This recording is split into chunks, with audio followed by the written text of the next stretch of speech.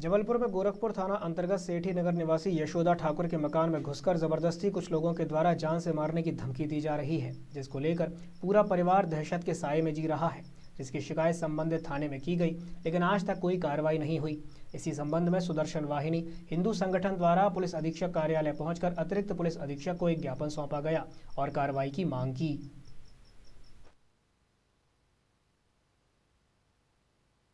एक आवेदन देने आई हूँ सर को। तीन चार बार मैं आ चुकी यहाँ पे। कई बार मैंने आवेदन दे चुका है। गोरखपुर थाने की पुलिस कोई सुन नहीं रही है और उन लोग एस के पास भेज रहे हैं। हमारा मकान निजूल की ज़मीन में बना है और हमारे पड़ोसी का भी निजूल, वहाँ पे सबका निजूल की ज़मीन में बना हुआ मकान है। पर जो हमारे पड़ोसी पीछे वाले हैं उन लोगों ने हमारे घर में तोड़फोड़ की है और रात दिन से पत्थर चलाते गाली गलौज करते हम थाने जाते थाने वाले नहीं सुनते।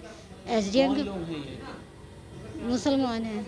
मुस्लिम क्षेत्र में? तो हाँ आपका सेठी नगर सेठी नगर। तो उन लोग क्या लगातार पत्थर हाँ एक दो दिन के आड़ में पत्थर पे पत्थर चलाते हैं। आप कहाँ तक शिकायत दे मैंने एसडीएम पुलिस अधीक्षक एसपी कार्यालय